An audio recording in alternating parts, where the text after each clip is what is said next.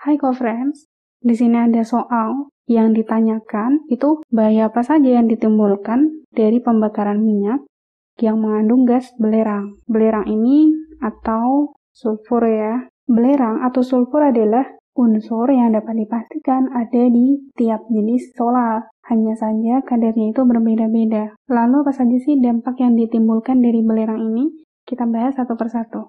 Belerang ini ketika dia terbakar di udara akan menghasilkan oksida belerang. Nah, oksida belerang inilah yang dia berbahaya bagi lingkungan maupun bagi kesehatan kita. Sifatnya antara lain yang pertama, SO2 ini adalah beracun dan dapat merusak sistem pernafasan. Kalau menempel di tumbuhan, tumbuhannya pun juga akan menyebabkan daunnya menjadi pucat.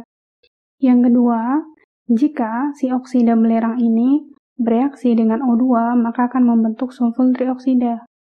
Sulfur trioksida inilah yang nanti akan membentuk hujan asam. Lalu kenapa jika dia menyebabkan hujan asam? Hujan asam inilah yang akan merusak tumbuhan, logam maupun bangunan yang mengandung besi dan CaCO3.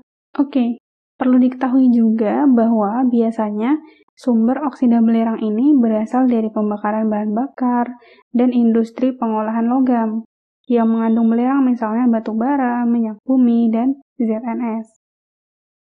Oke, sampai jumpa di pertanyaan selanjutnya.